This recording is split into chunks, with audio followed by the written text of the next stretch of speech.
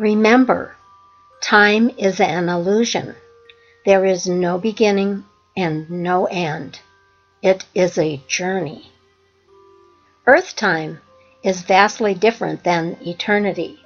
A second can be a lifetime, and a lifetime can be the twinkling of an eye.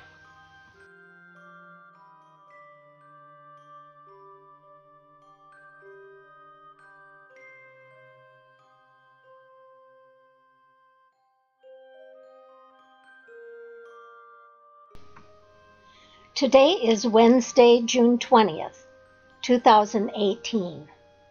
Feelings.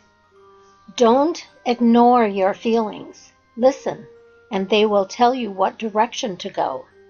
You will continue on the roller coaster of emotional responses.